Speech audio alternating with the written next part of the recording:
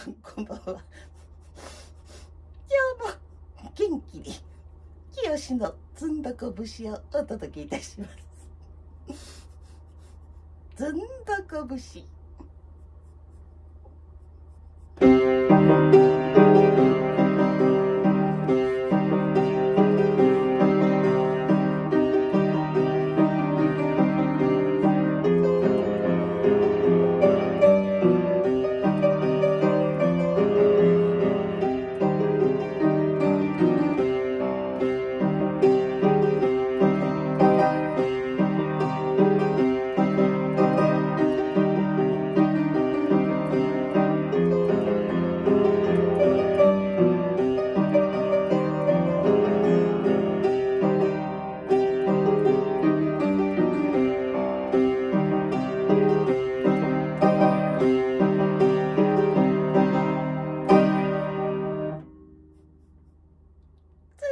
節をお届けいたしました。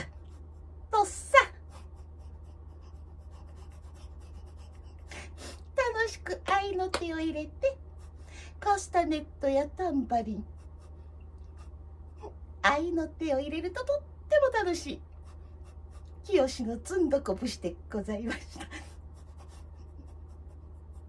それではまた明日もこうご期待くださいバイバイ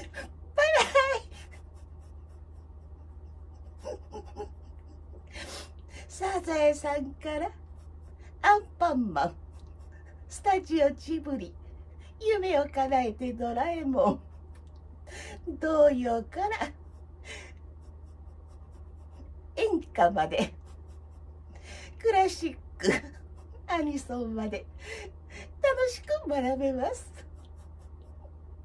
清のずんどこ節でございました。